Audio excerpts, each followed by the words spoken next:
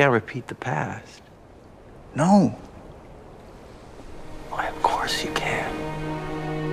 Of course you can.